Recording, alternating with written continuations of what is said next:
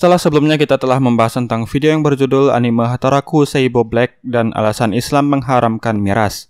Dan satu lagi video yang berjudul anime The Journey, anime barokah buatan Arab Saudi dan Jepang. Nah, pada kesempatan kali ini saya akan membahas tentang anime yang berjudul Finland Saga. Karena itulah judul video kali ini adalah berjudul anime Finland Saga, sejarah Islam menaklukkan Konstantinopel. Oke, tanpa berlama-lama lagi, mari langsung saja kita kupas pembahasannya.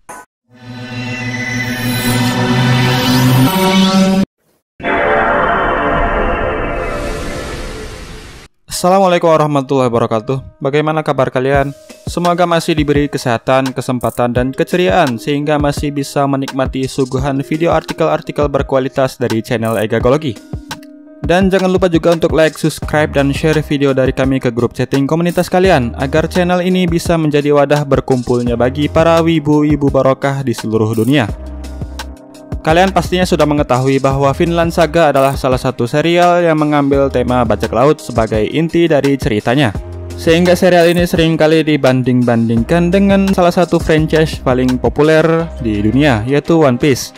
Walaupun secara penceritaan, Finland Saga lebih menyajikan cerita yang sedikit sesuai dengan realita kisah-kisah bajak laut di dunia nyata dibandingkan dengan penceritaan yang digunakan oleh serial One Piece. Karena anime ini lebih menyajikan fakta-fakta tentang kisah bajak laut secara lebih realistis dibandingkan serial-serial anime bajak laut lainnya. Tak mengherankan jika banyak sekali pesan-pesan tersembunyi yang terkandung di dalam anime ini. Ya, video kali ini adalah kelanjutan dari video saya sebelumnya yang berjudul Anime Finland Saga dan pesan Islam di dalamnya. Jika di video sebelumnya saya telah membahas ajaran Islam yang terkandung di dalam anime Finland Saga tentang pembebasan budak dengan cara penebusan yang sesuai dengan harga pasar. Nah, pada kesempatan kali ini saya akan lebih fokus membahas tentang fakta-fakta sejarah dunia dan pastinya adalah sebagian sejarah Islam yang terkandung di dalam anime ini. Di anime Finland Saga ini sendiri ternyata banyak sekali mengambil aspek-aspek dan adegan-adegan sejarah yang benar-benar ada di dalam kehidupan nyata sebagai contoh adalah adegan di mana kerajaan Denmark dan pasukan Viking yang akhirnya berhasil menguasai wilayah kerajaan Inggris yang merupakan latar waktu dari serial ini adalah sebuah fakta sejarah yang benar-benar ada di kehidupan nyata. Hal ini terjadi tepatnya pada abad ke-8 hingga 9 Masehi, di mana pada saat itu bangsa Viking berbondong-bondong menyeberangi lautan dari daratan Skandinavia menuju ke daratan Inggris untuk mendirikan pemukiman. Lalu di episode ke-9 kita diperkenalkan salah satu karakter yang merupakan pangeran dari Denmark. Karakter tersebut bernama Kanut atau Knut. Ternyata tokoh tersebut benar-benar ada di kehidupan nyata. Pangeran Kanut atau Knut lahir pada tahun 954 Masehi dan meninggal pada tahun 1035 Masehi. Bahkan di kehidupan nyata ia memiliki gelar tersendiri yaitu Kanut the Great karena ia tercatat pernah menguasai daratan Inggris, Norwegia, dan Denmark, serta sebagian Swedia sekaligus.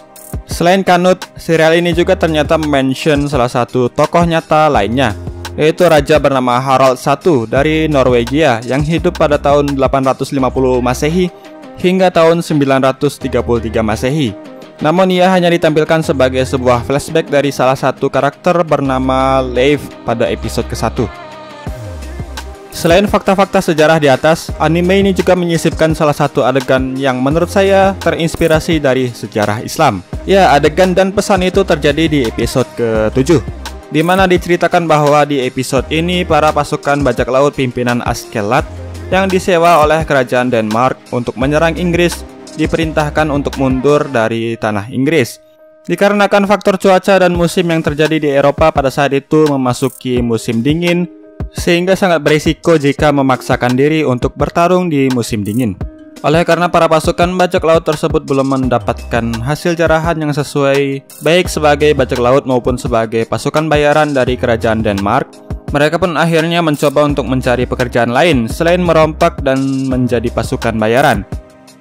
Insting Askelat akhirnya membawanya dan pasukannya ke sebuah daerah di mana terdapat dua kerajaan French yang sedang berperang saudara. Dan di sini Askelat menawarkan diri untuk menjadi pasukan bantuan bagi kubu kerajaan yang sedang mengepung benteng musuh dengan harapan ia bisa menjarah kerajaan tersebut. Dan sang karakter utama dari serial ini yaitu Thorfinn akhirnya dikirimkan sebagai jaminan atas kejujuran Askelat.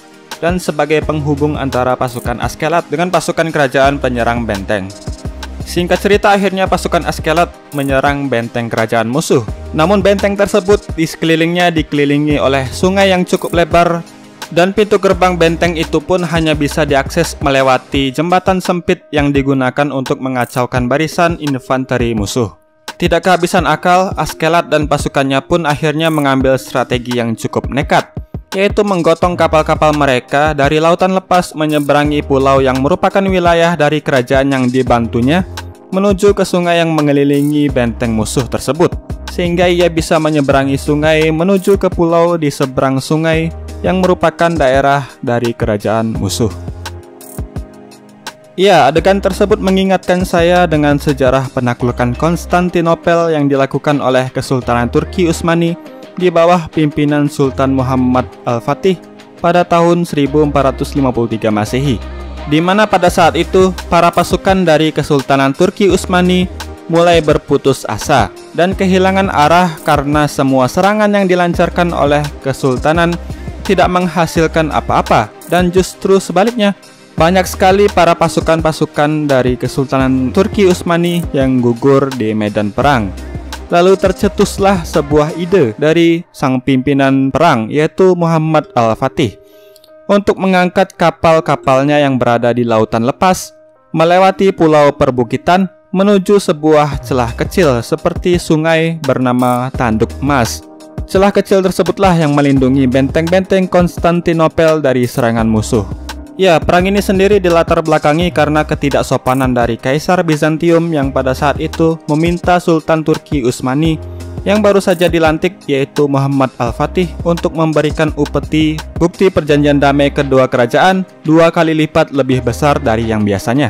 Hal ini dilatar belakangi karena pada saat itu umur Muhammad Al-Fatih masih terbilang sangat muda untuk diangkat sebagai seorang sultan di kerajaan besar bernama Turki Utsmani, sehingga banyak sekali yang meragukan kapasitas dari sultan baru tersebut, tak terkecuali juga bagi para penguasa-penguasa kekaisaran Bizantium. Jika menilik sejarahnya sendiri, sebenarnya kekaisaran Bizantium ini sudah beberapa kali mengkhianati kesepakatan damai dan menginjak-injak harga diri pemerintahan Islam pada saat itu. Misalnya pada zaman Nabi Muhammad SAW masih hidup, kekhalifahan Islam yang pada saat itu masih berusaha berkembang dan menstabilkan pemerintahannya terpaksa harus melakukan peperangan melawan Bizantium. Perang tersebut dinamakan Perang Mu'tah. Perang tersebut dilatar belakangi karena beberapa utusan yang direncanakan akan dikirim pada kekaisaran Bizantium dibunuh di tengah jalan. Lalu di zaman dinasti Abbasiyah juga, Khalifah Harun ar-Rashid beberapa kali memerangi Bizantium karena alasan yang sama, yaitu mengkhianati perjanjian damai dan tidak mau membayarkan upeti kepada kekhalifahan. Dalam perjalanannya pun kekaisaran Bizantium beberapa kali memerangi Islam dalam peperangan salib bersama kekuatan-kekuatan kerajaan Eropa lainnya. Contohnya pada tanggal 11 November tahun 1444, Kekaisaran Bizantium dan kawan-kawan menyerang Turki Utsmani yang pada saat itu masih dikuasai oleh ayahnya Muhammad Al-Fatih, yaitu Murad II. Karena itulah ketika Muhammad Al-Fatih naik tahta, misi utamanya pertama kali adalah menaklukkan Konstantinopel. Pada tanggal 6 April 1453, serangan dimulai. Pasukan Turki Utsmani mengerahkan 140 buah kapal perang dan 320 buah perahu dengan tentara berjumlah 150.000 orang termasuk 12.000 pasukan khusus Janissary, serta sebuah teknologi persenjataan revolusioner paling mutakhir di zamannya, yaitu Mariam Orban. Seperti yang telah saya katakan di atas, semua persiapan dan penyerangan menggunakan senjata dan pasukan-pasukan tersebut pun gagal total. Setelah dua minggu serangan dilancarkan, kota itu masih mampu bertahan. Oleh karena itu, pada tanggal 21 April tahun 1453 Masehi, Muhammad Al-Fatih pun memerintahkan para pasukannya untuk mengangkat kapal perangnya dari lautan dan diseret ke daratan melalui Bukit Galata menuju wilayah Tanduk Mas dengan menggunakan bantuan kayu bulat yang dihaluskan menggunakan lemak sapi sebagai landasan untuk memudahkan kapal diseret menaiki bukit.